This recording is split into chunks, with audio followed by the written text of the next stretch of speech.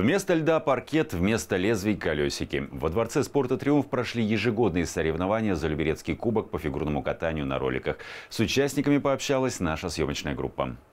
Сегодня у нас совсем небольшое количество участников, всего 35. Мы даем возможность э, выступать даже спортсменам, которые только первый год пришли буквально в сентябре, и они будут у нас дальше в программе соревнований. Это первая ступень. От городского округа Люберцы участвовало 16 спортсменок. Одна из них, София Трухина, перешла в роллер-спорт из фигурного катания в марте 2023 года. Схожесть этих видов спорта помогла Софии быстро освоить новое направление. И на этих соревнованиях она заняла первое место. На льду я занималась до этого 6 лет.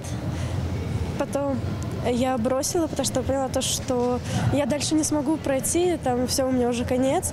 А потом я пошла на бокс, и там были соревнования на роликах, и я решила, что я хочу попробовать себя в роликах. Вообще на роликах я участвовала всего пока что. Это четвертое соревнование.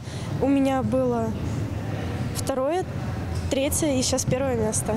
За первое место и защиту спортивного разряда соревновались участники из разных городов. Алиса Речкина приехала из Венигорода. Занимается роллер-спортом 4 года. За спиной у спортсменки большое количество выигранных кубков и медалей. Я люблю соревноваться и выступать в красивых нарядах. У меня очень много было призовых мест, кубков и медалей.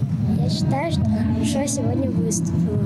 Из 16 люберецких фигуристов все прошли на следующий этап. В Кубке Московской области спортсмены примут участие уже в декабре. Анастасия Кладинова, Петр Пономаренко, телеканал ЛРТ.